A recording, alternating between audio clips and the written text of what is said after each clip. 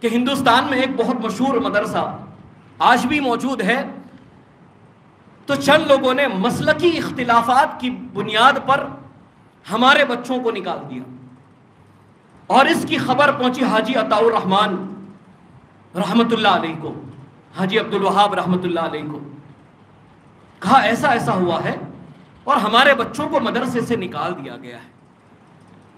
حاجی عطاء الرحمان مولانا عبدالعزیز رحیم آبادی مناظر تھے ان کے ساتھ مل کر۔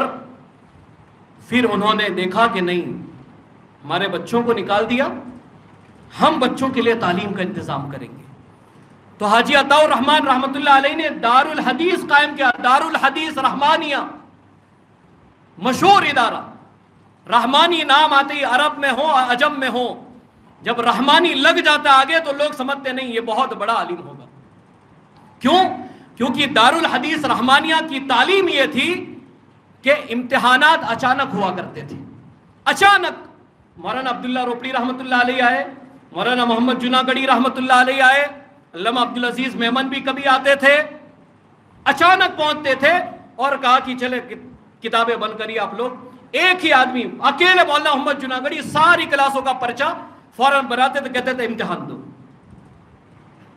طلبہ میں ایک چیز بیٹھ گئی تھی، امتحان کبھی بھی ہو سکتا ہے۔ اور اس میں باقاعدہ سختی برتی جاتی تھی کہ طلبہ کا تعلیمی معیار بلند ہونا چاہیے۔ یہی وجہ تھی کہ اس زمانے میں مولانا عبد القیوم رحمانی رحمت اللہ علیہ، لوگوں نے سنا، کہتے ہیں کوئی عبد القیوم نام کا طالب علم ہے، کہتے ہیں اسے پوری سنن ترمیزی یاد ہے۔ انیس سو سینتیس یا اڑتیس کے غالباً محدث میں اس کو لکھا گیا ہے۔ کہ کہا کوئی طالب علم اسے پوری سنن ترمیزی یاد ہے۔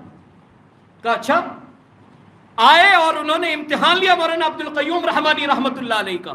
اور سبحان اللہ، وہ طالب علم کا زمانہ جہاں سے پوچھا گیا مولانا عبد القیوم رحمانی کو، انہوں نے سنن ترمیزی کی وہ حدیث، وہ روایت پڑھ کر کے سنا دی۔ یہ دار الحدیث رحمانیہ تھا میرے بھائی۔